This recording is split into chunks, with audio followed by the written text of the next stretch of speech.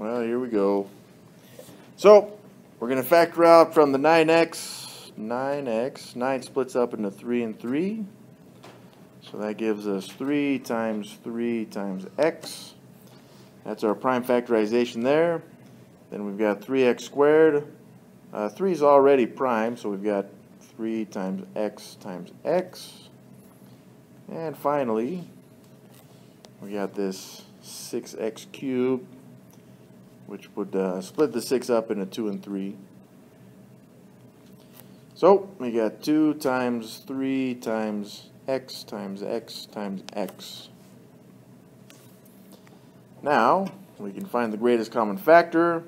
We've got a 3 that's common amongst all three.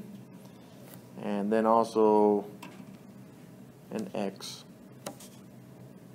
So, this is our greatest common factor. So you don't do three x to the third, you just say, Uh, so we got the 3x. I'm going to give myself some more space here. 3x is on the outside of the parentheses now. And the operations are plus and minus. I don't know if that helps. But in red, I've got the 3 that's left over. That was my leading term, so I've got a 3 that's left. I've got in purple, that's our middle term. I've got an x that's left over there. And then finally in green, I've got a 2. And I've got these two x's as well. So x squared.